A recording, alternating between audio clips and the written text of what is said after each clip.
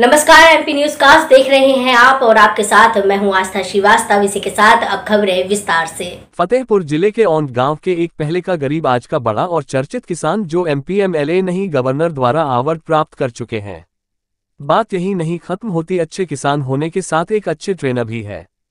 हाँ वही ओन के राम सिंह पटेल की बात कर रहे हैं, जो एक वर्ष में एक ही खेत में पाँच छह फ़सलें उगाकर अच्छे दामों में बेचकर आज सबसे अच्छे और धनवान किसान बन चुके हैं, जो प्रदेश के बाहर भी किसानों को खेती करने की विधि बताकर नाम रोशन कर रहे हैं। आप लोगों को बताते चले कि फतेहपुर ज़िले के कृषि विज्ञान केंद्र से वैज्ञानिकों को यह लालसा रहती है कि राम सिंह पटेल बुलाएँ और अपने खेतों में घुमा कर दिखाएँ फ़सलों को जिससे अन्य किसी को भी वह विधि बताई जा सके। आइए सुने क्या कहा डॉक्टर जगदीश किशोर कृषि बीज वैज्ञानिक डॉक्टर अलका कटिहार गृह वोटिका ऑन नोडल अधिकारी और कृषक राम सिंह पटेल ने। आप देख रहे हैं MP news cast Uttar Pradesh, bureau Sanjay Patel की कवरेज फतेहपुर से। महिलाओं से यही कहना चाहूँगी कि जो भी अपने घर में सब्ज़ी उगाएँ, वो प्राकृतिक तरीके से ही उगाएँ, क्योंकि आने वाला समय पूर्णतः प्राकृतिक ही होगा।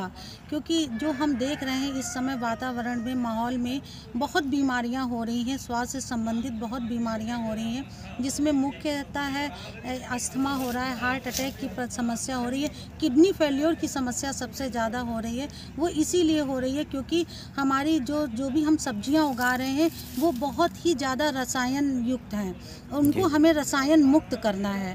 तो जब वो तभी संभव हो पाएगा जब हम प्राकृतिक विधि से खेती करेंगे और पोषक वाटिका जो हम गाँव में महिलाओं को लगा रहे हैं क्योंकि मैं गृह वैज्ञानिक हूँ और मेरे क्षेत्र में जितनी भी हमारी कृषक महिलाएँ हैं सबके घर में छोटी सी जगह में हम एक पोषक वाटिका लगाते हैं। वो बिल्कुल रसायन मुक्त लगाते हैं, पूरा प्राकृतिक तरीके से लगाते हैं, जिसमें जीवामृत है, घना जीवामृत है, बीज को शोधित करने के लिए बीजामृत है और दस पर्णी अर्क, जो भी हमारे कीटनाशक लगते हैं, उनको ख़त्म करने के लिए हम लोग दस पर्णी अर्क महिलाओं को अपने घर पे ही बनवाते हैं, जिनका प्रयोग वो अपने पोषक वाटिका में कर रही हैं। इसके अलावा महिलाओं को और क्या जो है प्रशिक्षण देते हैं, जो घर बैठे जो है, वो कुछ अर्निंग कर सकें। देखिए इस बार हमारे जो सरकार ने है 2023 मोटा वर्ष अनाज घोषित किया है जिसमें कि हमको सारे मोटे अनाजों का सेवन हमारी जो महिलाएँ हैं उनको करना है और जो मोटे अनाज है जिनको जो बाज़ार में सस्ते दामों पर बिक रहे हैं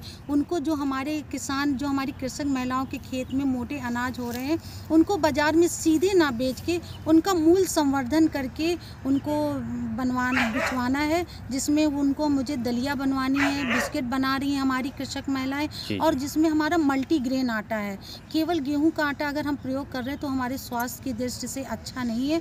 अगर उसी में हम मोटे अनाज का समावेश करेंगे जैसे ज्वार है बाजरा है मक्का है रागी है सावा है कोदो है इन सब चीज़ों का अगर हम अपने आटे में समावेश करके बाज़ार में बेचते हैं तो वो स्वास्थ्य की दृष्टि से भी अच्छा है और हमारी कृषक महिलाएँ उससे आय भी अर्जन बहुत अच्छा करेंगी। आपका हम परिचय जानना चाहेंगे। राम सिंह पटेल ग्राम पोस्ट होम ब्लॉक मलवा तहसील इनकी जिला फतेहपुर उत्तर प्रदेश किसान है। जैसा कि आप अच्छे किसानों में जाने जाते हैं इसके लिए जो है आपको ये ज्ञान कहाँ से अर्जित हुआ? असला तो आप सर मेरे पिताजी किसान थे। लेकिन मेरे पिताजी परंपरागत तो इससे खेती करते थे धान गेहूँ ज्वार। जी जी जी।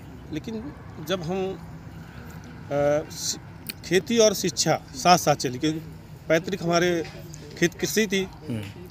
तो तभी से हमारा रुझान खेती पे रहा और हम थोड़ा वही ये मान चलिए अट्ठासी नवासी से हमने जो है कैश क्रॉप मतलब नकदी फ़सलों पे हम काम करना शुरू किया। जी जी। मटर पे, भिंडी पे और टमाटर पे, फिर मिर्च पे, लहसुन पे, परवल पे, बड़े पैमाने पे हम काम किया लेकिन इसके बाद हम फिर ज़मीन घट रही है, आबादी बढ़ रही है।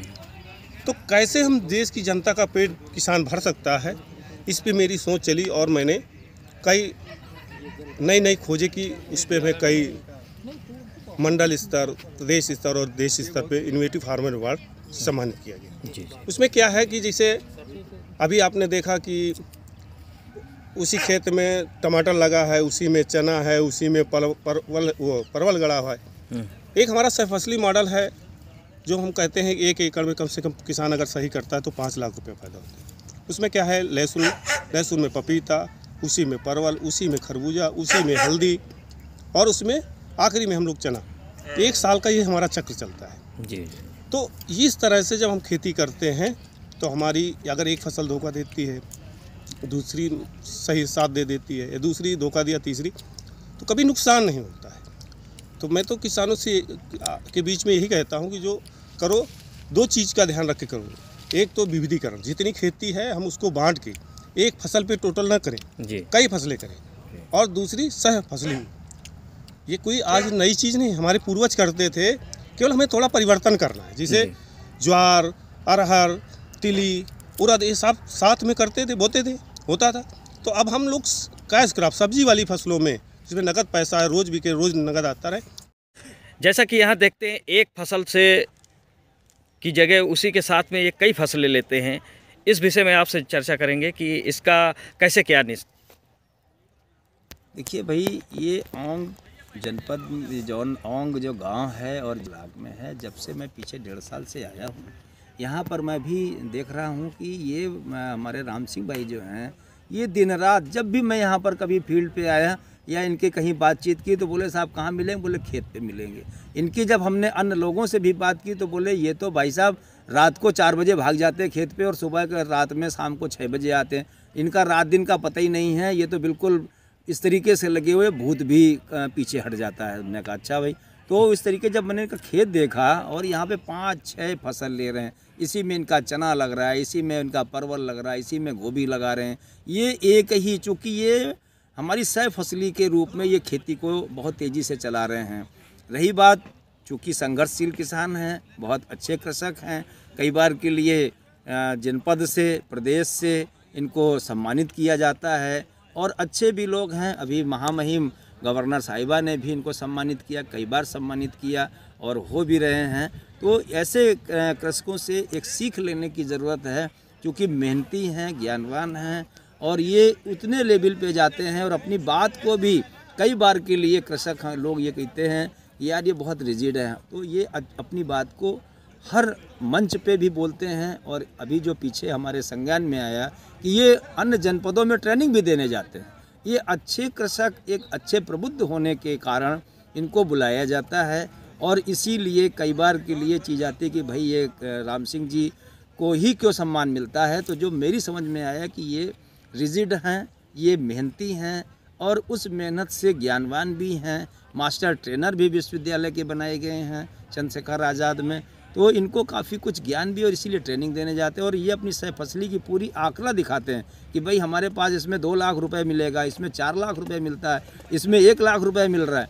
ये पूरी इकोनॉमिक भी समझाते हैं। इसलिए ये कृषक बहुत ही अच्छे और काफ़ी लोगों को अपनी बात को रखते हैं और उनका अन्य कृषकों को भी इस बात के लिए सलाह देने के लिए ये उतावले रहते हैं कि भाई हम कहाँ कर और कितना जल्दी पहुँच जाए और कृषक को अपने जनपद में तो विशेष तौर से हम करें फिर हम प्रदेश लेवल पे भी हम बात कर लें आपका सुपरिचय।